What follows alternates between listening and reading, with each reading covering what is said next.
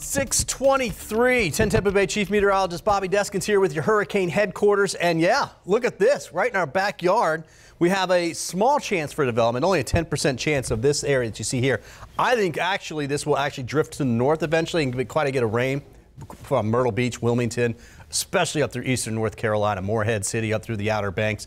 Uh, you can see this is the moisture we've actually been tracking for the last couple days. Kind of started here and worked its way across the state. That's why we've been cloudy a lot the last few days. Now it's way far offshore, but still some of these clouds are making it back in our direction. These storms here today will push clouds in our direction as well. Now, you can see this frontal boundary here. This will help to protect us, but that's why I think this eventually ends up a little bit further to the north. So we'll keep an eye on it. Low chance right now of development doesn't look like to be a big deal. And then if you look at the rest of the basin, yeah, we got a couple of waves coming off, but we have a lot of dust out there. And no development is expected over the next seven days for most of the basin. And next week looks quiet as well, too. All right.